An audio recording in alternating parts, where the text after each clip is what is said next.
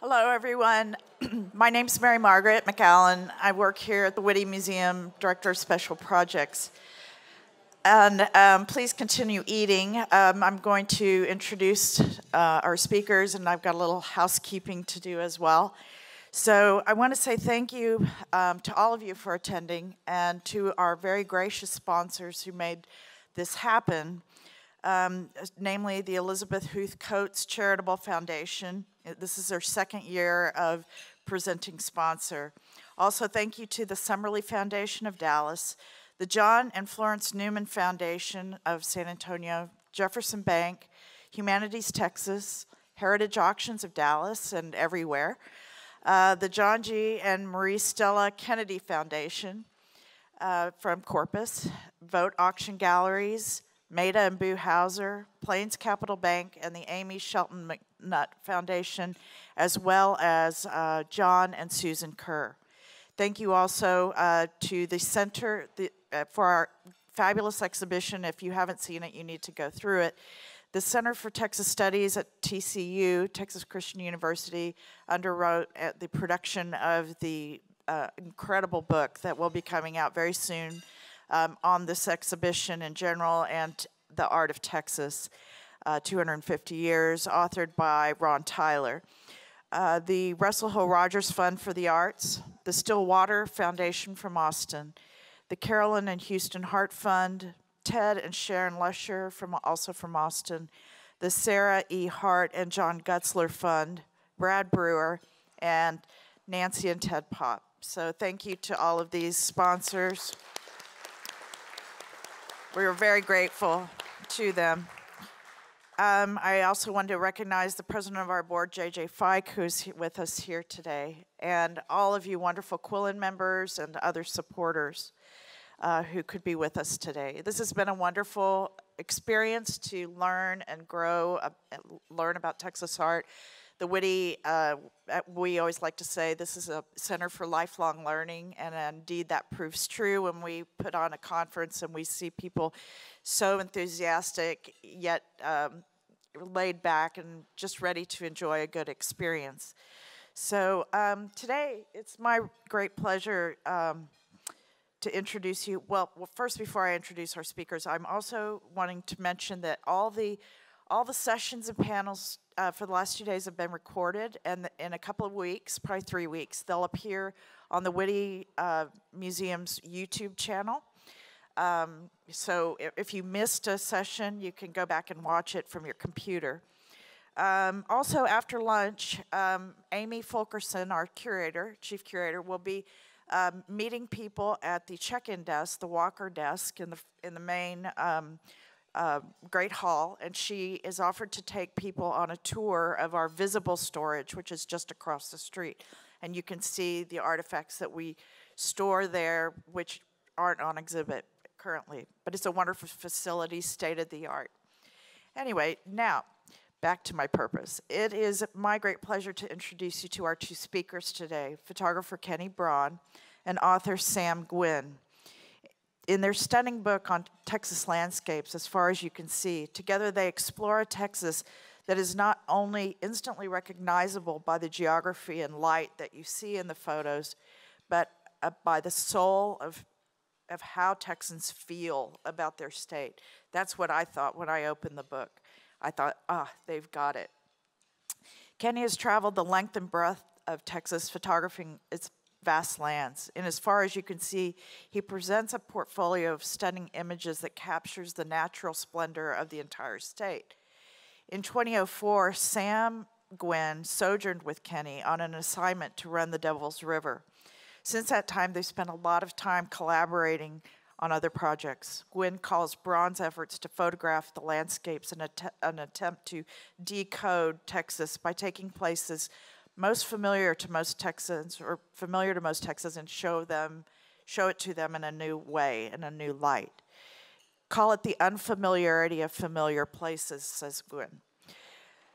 Kenny is known for environmental portraiture, landscape, and fine art photography. Music, surfing, and photography have been his passions since high school, each influencing the other. His personal work explores a sense of place and memory by returning to scenes from his childhood.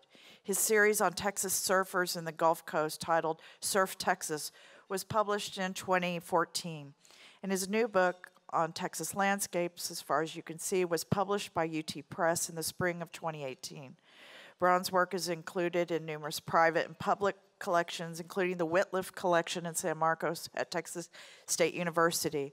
As an editorial photographer, his work has been seen in Garden and Gun, my favorite magazine, Texas Monthly, my other favorite magazine, Wired, Southern Living, Texas Highways, and This Old House magazine.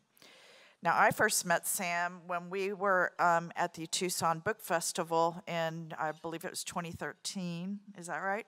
He had come out with his new book, Rebel Yell, and I just admired um, a panel that he sat on with Hampton Sides and some other wonderful authors. And we got to know each other. I, he writes in his histories in a very narrative style, which I, I try to do as well when I write my books. So um, I just had admired his style. I think everybody has a copy of one of at least one of his books on our shelves. Um, he's incredibly well read, but everybody reads him as well.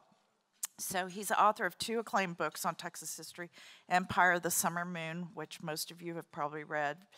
Um, it spent 80, 82 weeks on the New York Times bestseller list and was a finalist for the Pulitzer Prize. And Rebel Yell, the Violence, Passion, and Redemption of Stonewall Jackson, which was published in, 20, in sep uh, September of 2014, was also a New York Times bestseller and was named a finalist for both the prestigious National Book Critics Award Circle, Circle Award and the PEN Literary Award for Biography. His book, The Perfect Pass American Genius and the Reinvention of Football was published in September 2016 and was named to a number of top 10 book sports books, book lists. Sam has written extensively for Texas Monthly, where he was executive editor from 20, 2000 to 2008. And you might know David Dunham is also on our board of directors. His work included cover stories on White House advisor Karl Rove, NASA, the King Ranch, football player Johnny Manziel, the University of Texas, and Southwest Airlines. His 2005 story on lethal Houston surgeon Eric Scheffey was published in The Best American Crime Writing in 2006 by Harper Perennial Press. In 2008, he won the National City and Regional Magazine Award for Writer of the Year. He also writes for Outside Magazine. His articles include a 2011 story about a canoe trip down the Pecos River in Texas and a 2012 piece about the Bikini Atoll in the South Pacific, where the Americans tested the atomic weapons. He's um, won numerous awards um, as a correspondent. He worked for Time Magazine. He was bureau chief, national correspondent, and senior editor. Um, so he's garnered so many awards, they would run off the page if I listed them all. So please give a warm welcome to both Kenny Braun and Sam Gwynne. Thank you all for having us. We're thrilled to be here the wonderful Witte Museum. So this is the cover of my book, as far as you can see, opened up, that you can see the front and the back. And it's a landscape book. And so I had to ask myself, why am I known as a landscape photographer? And it all goes back to when I was little. So here's a short little history lesson on me. Both of my grandparents had farms about an hour and a half drive out of Houston, and we would go there and visit all the time. I would just, I love to be outdoors from sun up to sundown, fishing, hunting, camping,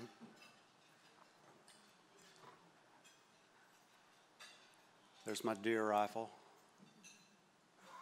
And when I was 16, that, the hunting kind of took a back seat to photography because I got this camera, Canon AE1.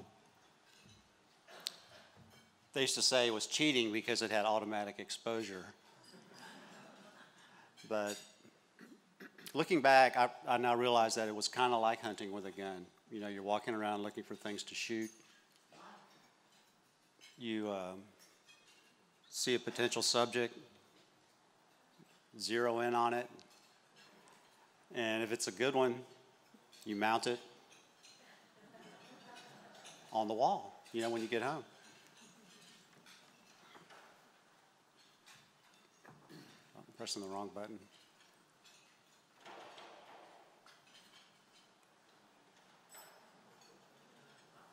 That's my living room. Not really. It's Sam's living room. so, yeah, I just started taking my camera with me everywhere, and nature was kind of just a natural subject matter for me as a photographer.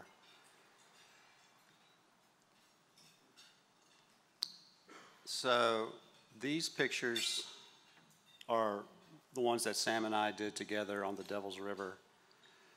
And this is from our starting point. There's, there was this bridge that went across the river, and back then there were, there were no maps or guidelines or anything about what to expect. We just knew that it was very pristine and remote and dangerous. And what we didn't know at the time is that the river was really up. Like crazy, crazy up. Is this thing on? Is this thing on? Yeah. It is on, okay, yeah. River was really, really high. I mean, way higher than it normally is. And our canoe was really, really low. so we had it, we had it loaded down with too much gear, but uh, and camping equipment. So I, I just wanted to say something about this. So Kenny and I, you know, have been out on these stories together, which are really, it's a really interesting collaboration when a photographer and a writer go out together. It's rare. It doesn't usually happen in, in magazine journalism, which this is. You know, usually the writer goes out all by himself or herself for a long time, and then eventually the shooter shows up to shoot. In this case, we're, we're in the narrative, we're in the Devil's River. But I mean, to me, one of the great things about this, I mean, yes, we're launching into, and we don't even really know what we're, we don't really have any idea what we're doing. This grotesquely overloaded canoe. We have not paddled in whitewater before. Neither of us have, not canoes anyway. Um, we're launching into this. It wasn't record heights because the Devils is famous for flash flood. It's very high, so that the class twos are class threes and the class threes are class fours and it's quite serious, and you're going down this thing anyway. This is moments after we. So this is to me, Kenny. I mean, it, it, it is such a wonderful photograph, and there's so many photographs in this book like this. But what it what this does is it captures. I mean, it just it captures the mystery and the danger well, we didn't know about the danger yet. We were about to figure right. out about the danger. We didn't know about the danger yet. Danger was coming, which you will see. We're going to show you and the you danger. hear it too. Deep rumbling sound up ahead. But wait, but but it's it's it's it's just this kinetic piece with full of mystery and danger and, and uh, the thing that we were going into. And we indeed it, it, it is one of the most remarkable and beautiful places in Texas where, as they say, you know, you you know, we would go to pools in the Devil's River where, you know, you can look down 20 feet and see a crawdad. It's, the, it's a gin clear, turquoise colored water. It's just spectacular. Anyway, at this point, it's, it's and it, when we launched into it on our mutual adventure, uh, it, was, it, was, it was up and roaring. So, it was. Yeah. It was. And I won't tell the spider story. Thank you. Um, so, yeah, you know, you're paddling along, it's nice and calm, you hear the birds chirping, and then you hear this deep rumble up ahead, and the water starts getting faster, and so you try to get to the side before you're actually in it. And one of the one of the deep rumbles was this, Dolan Falls.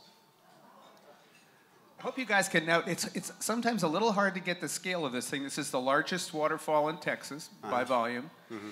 It is, it is just absolutely crazy roaring. I mean, you can see sort of how big it is. Those are pretty big trees on the right, but I mean, it's, it's, and it, and it's kind of a, almost, I guess you'd say a half moon shape. Mm-hmm. It's a, sort of a yeah. crescent. But, and I'll, and I'll give it back to you, but just the, we were, this was the classic moment. So now I had read somewhere that if you were approaching, let's say, Niagara Falls on the Niagara River, that what you see ahead of you, you don't hear anything, and what you see ahead of you is just a line. It's mm-hmm. just a straight horizon line. That's all you see. You don't see rapids, you see, and yet you're about to go over Niagara Falls. So we're, we knew about Dolan Falls. We knew sort of where it was, but not within a two or three miles, because again, there were no maps. We had nothing to go by. So we're, we're actually sliding down that ramp on the right, right into that. And at some point, I looked up and I saw the horizon line, and somewhere in the reptile core of my brain, it says, horizon line bad. and as Kenny, as Kenny said, and you could sort of hear this thing kind of like, you know, 20 buses run, you know, like running down a highway somewhere. But anyway, we, we uh, I, I would say we were 200 feet from that, from actually going into that when we realized what was about to happen to us we got ourselves out. But again, and I would just comment again. You know, these photographs are all Kenny's. I'm, I'm the I'm. I mean, visually here, I'm just uh, along for the ride. But I mean, I have seen many, many pictures of Dolan Falls. I have taken a bunch of them myself because I have run this river on other occasions. I've never seen anything remotely like this. It's the coolest, biggest waterfall in Texas, shot by a great photographer with just an absolute crazy sense of the power of this thing. And also, in particular, the sense that I have anyway, ha- having almost gone into there, what would have yeah. happened to me if I'd gone into it. So We had to portage around the, the right side, which took forever. we took the wrong side. You know, we, we should've gone around the left. We learned later that you go, you portage uh, right, we portage left, right? Yeah. Yeah. We portage left, which was through a dense forest with a canoe with like 400 pounds of camera equipment in it. So, anyway. And anyway, when you spend Very a few cool. days in a canoe with somebody, you really get to know them. this, this is Sam's paddle. yeah. I want y'all to appreciate how, the, how well that paddle is being held. It's perfect angle. This was a different story that we did on the 50th anniversary, I think, of John Graves' great book, Texas-based book, Goodbye to a River. And so we, we retraced the first, I don't know, couple of days, two or three days. And uh, it, it, was, it was just great because we were camping in some of the places that he talked about in the book. And we start, we put in at Possum Kingdom Dam where he put in. Exactly the And there's a shot that. Kenny took of me in the boat, right where the, that's the John Graves shot. And It was right, right around the same time of year, right? Uh, Yep. no, November. No, we froze our butts off. So, but, but go, go back though, Kenny. I need, I need, to, I need to comment because that to me, this to me captures in part the yes. Can you go back? There. Okay. So, I, I just wanted to point out again how well that oar is being held um, by the guy in the canoe. No. So here is here is an example of I think you know from my own primitive understanding of what Kenny does and how Kenny does it. Okay. So this is a shot that he worked. Now, so we, I went out and he was at, I don't know, where were you? Were you in the, uh, were you in the stern and I'm in the bow, or were you in somewhere yeah. else? Yeah, I was in the back. Okay, so this was a worked shot. So he saw this. He saw, in other words, okay, there are these, I like to think of them as like fairy sparkles there on the left. This is something that I, I never saw any fairy sparkles. I never saw that. I never, and that's not an effect. That is not a photoshopped after effect. Kenny, what Kenny's ability is to see, and he sees what he sees, and what he sees you don't see. I can look at that river all day long, and I will not see fairy sparkles. and even though I was instrumental in getting them, I want to point out. But, uh, th- but the fact is that that is something that Kenny saw. He saw it. He saw what it could be. He saw the angle of the sun, and and it's just this absolutely phenomenal kind of magical moment. And not only because we're, we're writing about a, a mythic, it's my favorite single book about Texas. If you all haven't read it, I would highly recommend it. It's John Graves' Goodbye to a River. It's the best book about Texas. It's wonderful. And it's very mythical and magical from the Comanches to his, you know, eating the squirrels as he's going down the river and everything else. But there's a myth and magic to that book. That's, that's the myth and magic right there. We're, there we are. We're 10 miles below Possum Kingdom Dam, going right where John Graves went. And there you have it, captured in a little, little moment. So this was, what, 2003? Was it- 2004? Three, four, yeah, yeah. Pre-digital, and so we're shooting film, and so obviously you're not seeing what you're getting, which is, it's totally different than today. I think it's almost better when you can't see what you're getting because you tend to stay in your head more instead of like just wanting to look at the camera right away. So many times I've, I've, I'm looking at the back of the camera and I miss the shot. But it's such a that's such a critical difference, though, right? I mean, so now so nowadays you click, look, click, look, click, look, right? Yeah, yeah. Digitally, you didn't see that until when?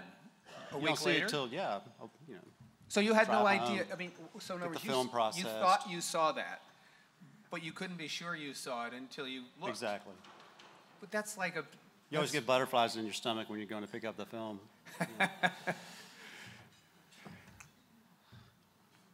this is along the river. I think that's close to Keachai Creek. Kichai. And the, uh, there were the Anai tribes and the Kichai tribes. And so we, to this day, I call him Kenai. He calls me Samai. They were just some of the tribes that lived up there and uh, that Graves wrote about in his book. So these two pictures are the oldest pictures in my book, both taken in 1995. And that's a submerged typewriter on the left, and obviously a fishing pole shot on the Brazos River. But I like it because it was the first year I started my business, 1995, and you know this, this book isn't laid out as a retrospective or anything, but it actually is from the first year I started to you know the, the present day when it was published just last year. But I was going along, you know, following the Brazos River, just trying to pay attention, to you know, see what I could find, and it was a series of you know fishing poles and environmental portraits and landscapes, and there really is no formula about how to approach a shoot like that. You know, you just kind of follow the light. But I'm doing the same exact thing now as I, as I was doing back then. The MO hasn't changed. So this book is divided into seven sections, one for each geological region of Texas. And so when I laid out all the pictures that I had, which was at that time 23 years of photographs, film, digital, and everything, we kind of wanted each section to be kind of balanced, you know, to have as many photos as, as the others. And it turned out some of the sections were a little light and they weren't as strong, you know, the, the photographs weren't as strong. So I had about a year to go back and plug in some of those holes. And about, I counted them up, and about half of the images in the book were taken in that last year. This is uh, Matagorda Bay. I started getting these assignments from Texas Highways and the Nature Conservancy of Texas that were taking me to these exact places that I needed to shoot for the book. It's a great shot. Tonkawa Springs in East Texas, kind of close to Nacogdoches. Okay, so tell, so Kenny, tell the story of that. So how did those feet happen to be there?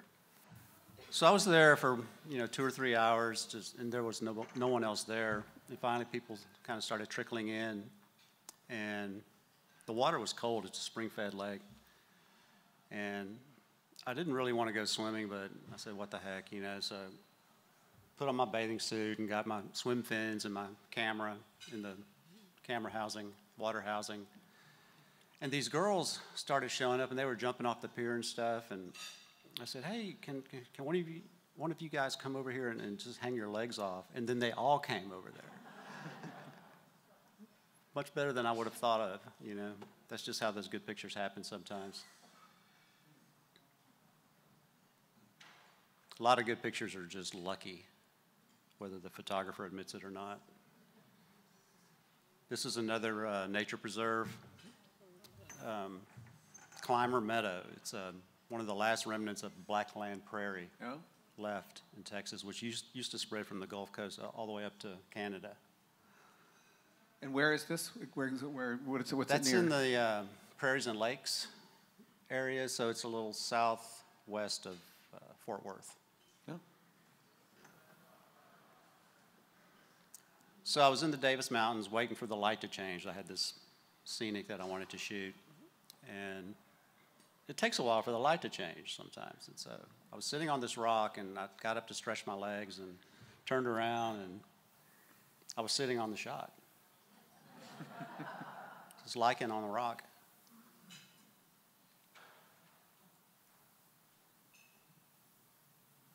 Stars and cotton. I was in um, Panhandle area shooting Caprock Canyon. It just happened to be cotton harvest time, and my parents used to pick cotton, and it reminded me of them, and so I had that connection to the landscape. And so I was like right south of um, Abilene.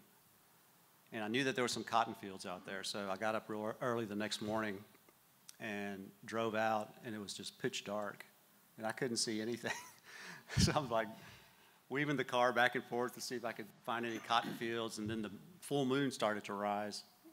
And between the moon and my headlights, I found this one.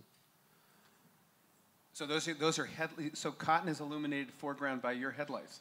No, How- how- that's how I found the field. But Oh, the, that's how you- the cotton is uh, and the land is um, is being lit by the full moon, which is Oh, because I was going to 10 ask you about that because it, it is. You can't figure out how it's being lit. I mean, that's that was my question. when yeah. I saw. it. I was like, how how did you do that? And it wasn't even that long of an exposure. Wow. I was shooting in high cotton. But I mean, you have, but you have Orion clear and the sunrise clear, and you've got moon, moon. I mean, that's quite a piece of. I mean, you know, I've seen Kenny work with you know light diffusers in studios. So this like this is some major light diffusion going on there. Yeah, yeah. That's really I cool. had it pictured a little differently, but I like this one too. Yeah. Pictures, uh, they, they never come out the way you think they're, they're going to come out. They're either better or worse. So I got this assignment from Texas Monthly to go shoot the Blanco River, and that was it. But they wanted it the next day, so I had to get up early in the morning, and I had this Plan A spot that I was going to go to where the road crosses the river. I got about a mile from there, and it was blocked off, construction. So then I turned around, went to Plan B, and that also was inaccessible because of construction. You know, by that time I was kind of freaking out and just frantically driving around, and I finally found this soccer field next to the river. So I pulled in and got my tripod and camera and just walked down to the river and was setting up the shot. And it, as the sun was coming up, I saw that it was backlit. You know, the river fogs coming up. It had those fall colors. That was in uh, early December. With the tripod. so I put on my long lens, and I, I just loved this angle and everything. And then these deer started swimming across on cue. I mean,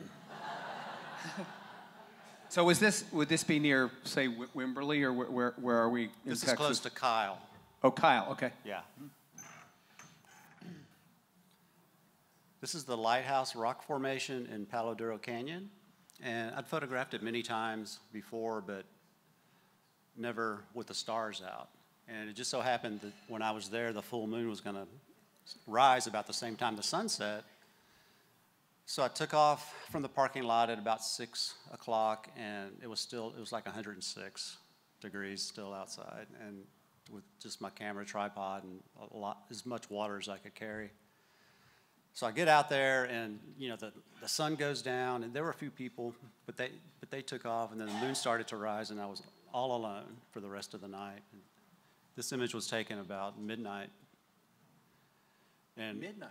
So so what again the the, the, The light. So again, you got Full moon, moon. as your light source. full moon is lighting it. but what's the light sources on the horizon? That's where uh, some of the other camps were. Oh, oh, I Yeah. Because you're you're you've got an exposure. You're, Mm-hmm. you're picking up that light. Yeah, yeah. Yeah. I mean, bats and owls were swooping overhead, rattlesnakes were rattling, coyotes were howling. It was very, felt very primal. Great. So this was about, this was a story, another Texas Monthly story about um, things that wash up on the beach. And so I, got, I get down there and there's just a bunch of seaweed, you know, and logs and jellyfish and stuff. But these, these two guys from the county were picking up trash, and one of them handed me this light bulb. And I was like, oh, that's cool, you know. So I just started playing with it. That's how that one came about. This is called Hurricane Isaac number five, and it's the, the title's kind of deceiving because it's such a tranquil scene with these surfers sitting out there, but they're actually waiting for the next set to come through because this hurricane is going into Louisiana, Hurricane Isaac. And you know, the hurricane's 500 miles away, but 27 hours later, you start to see the pulses in Texas. And that, those are the best surf conditions for Texas surfers. So just, just in case y'all missed it at Mary Margaret's introduction, Kenny's a, a real surfer, He's been a surfer for a long time. He's a good surfer, he's surfed everywhere, and he's one of these guys who hurricanes are super good news for him. You know, gets in the, gets in the car, loads it up, and heads for the beach. Wherever you head, where do you head? Where's the, where's the, it depends, I guess. Uh, It depends, but South Padre has South usually, Padre. usually the best and most consistent wave.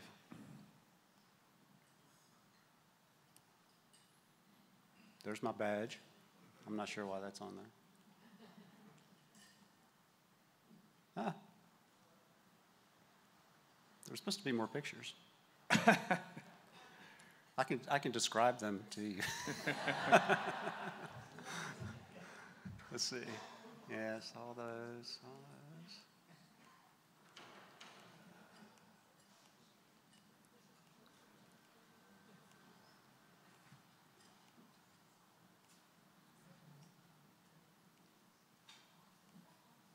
Huh.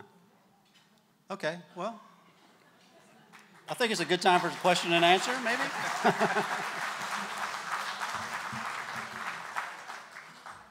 Anybody have any questions for me or Sam?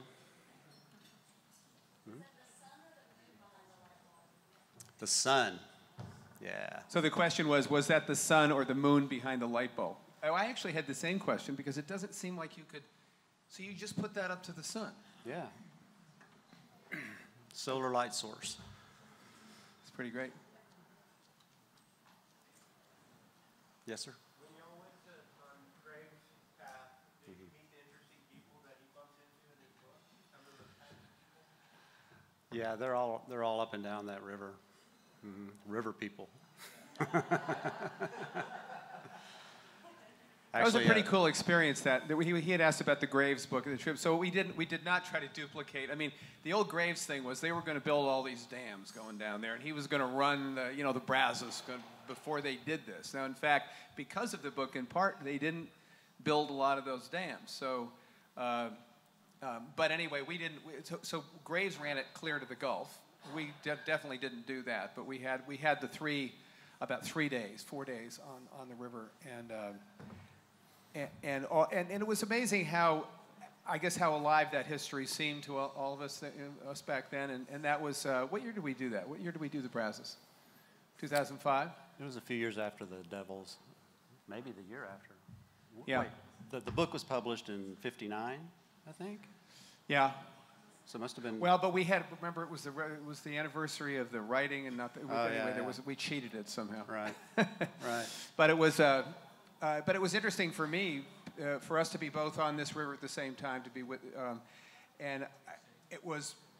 Uh, Graves had written about Comanches, and it was the first time I'd ever read about Comanches. Was in his book. He, he wrote about the famous killing of Martha Sherman, which uh, I eventually know wrote a book about the. Coman- Yeah, he wrote uh, the first time I ever read that, uh, which shocked everybody in the frontier and changed Indian policy and did all sorts of things. But um, so I was off, yeah, back back in Comanche country there, and that was actually the part of. If you look at where I think the the most, the single most violent part of the frontier was indeed, if you ask me, Parker County, Palo Pinto, Palo, Palo Pinto County, those counties southwest of Fort Worth, those are where the most violent of all the raids took place. So it was interesting. That was, I guess, my first ride through Comanche country. In Really? addition, yeah, for me. So that, yeah. so that planted the seed. That's right. So he- he, taught me everything I knew about Comanches. Yes, sir. Uh, very little. I still shoot it though, especially when I'm shooting for myself. I, I do editorial stuff for magazines and commercial work for businesses, corporations, and stuff, and then I shoot for myself. The, the surf book was a pure personal project, and the new book was mainly culled from assignments over the past 23 years. But like I said, I had about a year to go back and fill in the holes, and it ended up being about half the book. But film still looks great, you know, and really when you when you do a high res scan, a high resolution scan of a piece of film, the digital file retains that film quality, you know, the the grain and, and just the look. It's a especially with a medium format camera, it just got a different look. The the relationship of the film to the lens is it's just different that you can't duplicate. with a iPhone or, you know, digital SLR. They're getting close though. It's also still fun to shoot when you're not when you don't see what you're getting. One of those gorgeous pictures you had of the Devil's River had kind of a mysterious shadow up in the upper right-hand corner. And I wondered what that was. Was it a cloud? That's or- uh, vignetting. I was using a, a $20 plastic camera for that shot. And I couldn't believe it when he when he pulls this thing out. It's a Holga. a Holga. It's a twenty dollar camera, and not only that, but your camera hit it's it was all duct taped over. It- so it's It's got the light cheap- leaks. It's the cheapest. It's just all kinds of duct tape all over Mm-hmm. it. It's got like a little pinhole. I don't know what it was, but he pulls that thing out.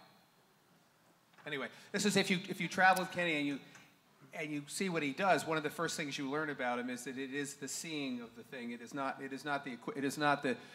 Twenty thousand dollar Hasselblad camera that does it. It's the seeing of things. And the first time I ever saw it was a just a basket of peaches that I shot. I said, "It's just unbelievable." It, but it was.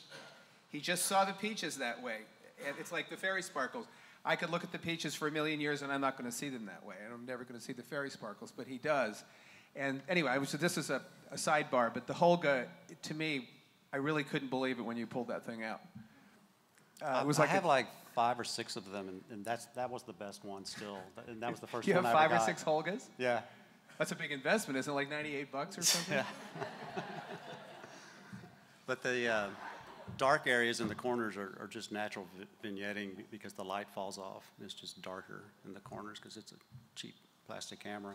I kind of I kind of like the look though. It does. It does. I agree. What would you say? I would just ask a question on behalf of, I guess, people here who might also be curious about this. But, you know, so much of your book is, is big. It's just big, like this big.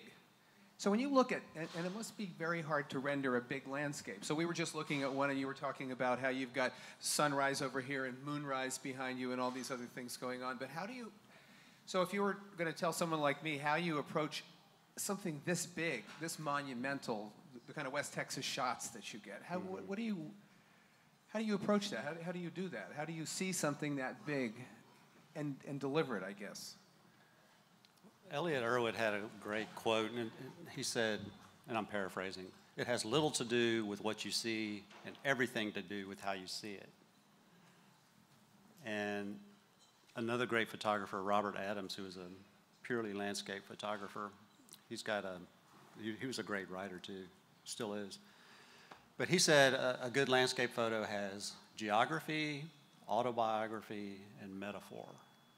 And each of those by themselves are, you know, it can help, but you put all the, you put all three together and that it, they just reinforce each other to make a, a good photograph. So if And you were to, for kinda- example, go back to the go, go back to that cotton field, which I think is brilliant, it's one of my favorite photos in that whole book.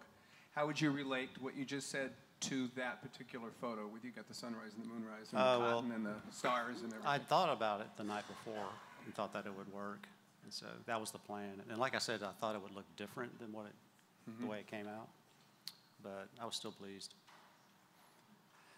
Yeah, you know, and uh, Robert Adams also says that you judge a landscape or a scene based on your, your own history. So, you know, your history and and what you've seen before and related to kind of informs you about what's important to shoot. And you can put 100 photographers out there, and each one will have a totally different scene. You know, it's just. I've also discovered a long time ago that if you really care about what you're shooting, it shows. It, it comes through in the image. There's So just that, cot- that little cot- something intangible. You well, you know? have cotton in your family. I mean, Uh, co- yeah, you're cotton right. is in- in your- Exactly. in your DNA. Yeah. Anyone else? Are you going to tell us about the spider? Actually, I'll tell you a different story about the spiders. This is what journalists go through. so at some point, we're, we're, we're looking for some place to camp on the Brazos River. And we can't find any place to camp. There's no, I, I don't know why. There's just nowhere, and it's dark. It's getting, it's getting really dark. Yeah. And we're in a canoe, and we don't know where we are, and we can't. And it's, you know, it's sort of private land up on either side. So in Texas, you don't want to get shot. I mean, that was always what. A, and the devils, in fact, that was something we were aware of. We we had heard people taking pot shots, and we didn't really want to get shot. So you have to make that whatever it is, 19 mile paddle the first day to make sure you don't get shot. But anyway, Yeah. so in order to not get shot or whatever, we, we found this one uh, little island. And that island had grass about this tall, but at least you could see your way clear to uh putting a tent, kind of mushing the grass down and putting the tent down.